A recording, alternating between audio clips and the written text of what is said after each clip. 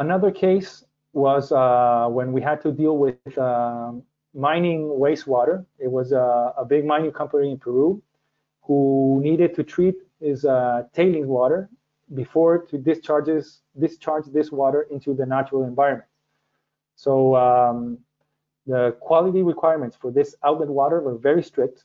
There was a very high concentration of suspended solids, heavy metals, a lot of minerals and salts in the in the inlet water. So we needed to supply a very efficient uh, treatment line.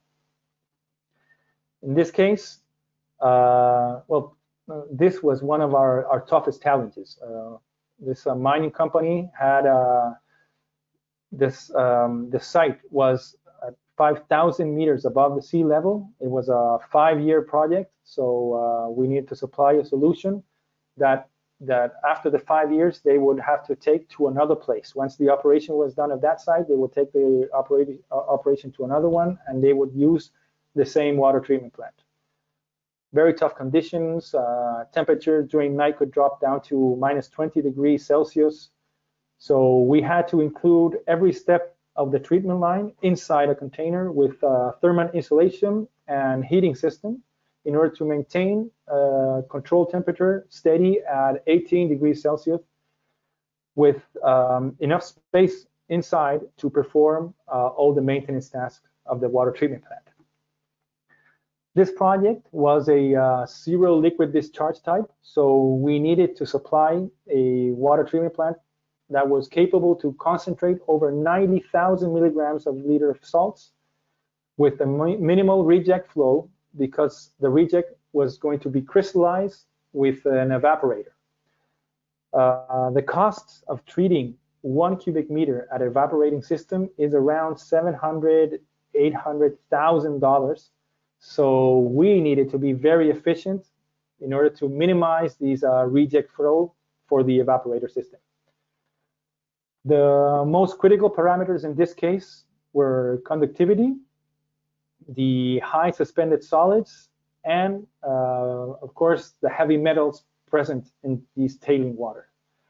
So for the outlet water parameters, we needed to comply with uh, local Peruvian regulation, which is very, very strict.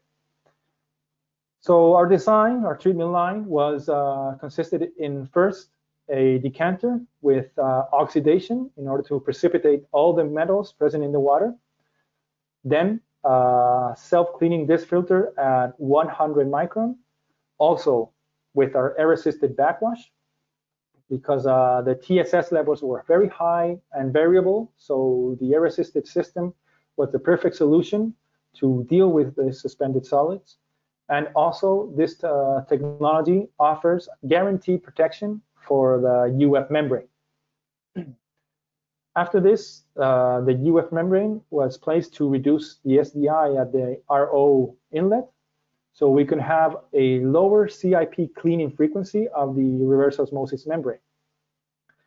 The, uh, the UF would retain all the colloidal solids that could have caused the soiling of the, of the reverse osmosis membrane.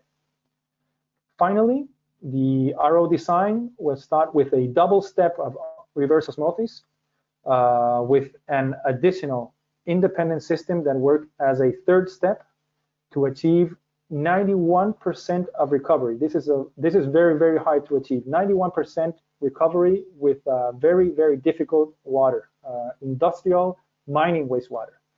So we had an uh, inlet water flow of 45 cubic meter per hour, and the permeate water flow was 41 cubic meter per hour. These 41 cubic meter per hour was discharged into the river almost with uh, drinking water quality. And uh, the highly concentrated four cubic meter uh, per hour were taken to the evaporator.